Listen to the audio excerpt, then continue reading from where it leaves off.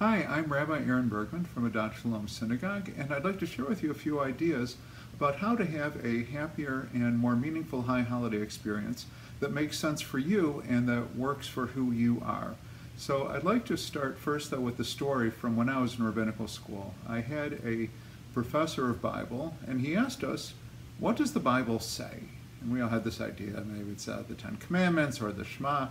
And what he did is he picked up a copy of the Bible and he goes,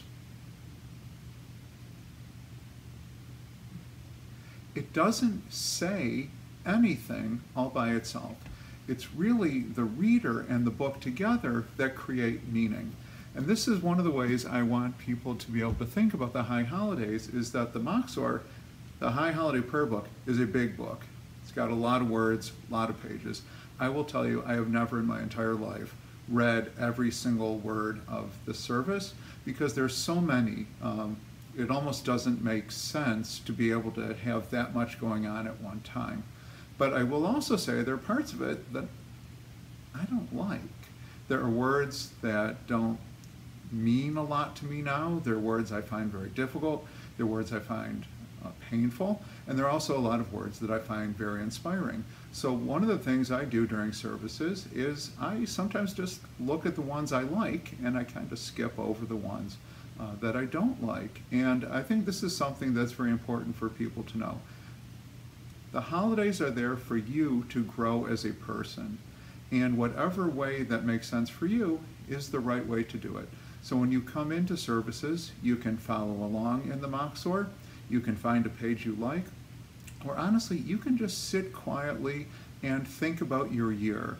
Uh, we spend a lot of time talking about the word repentance. Uh, but repentance in English is actually kind of a harsh word. It means regret. It means to look back on all the sins in your life.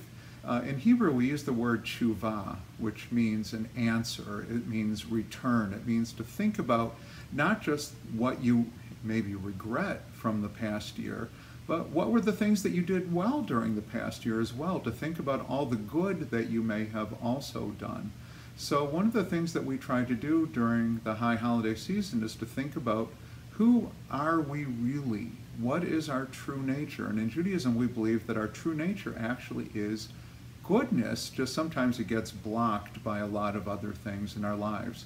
So I welcome you when you come into services, come for as long as you want, leave for as long as you want, come back again, follow the service. You can even bring your own book something that's meaningful to you. But what matters is that you're trying to create a connection to who you are and to what matters to you.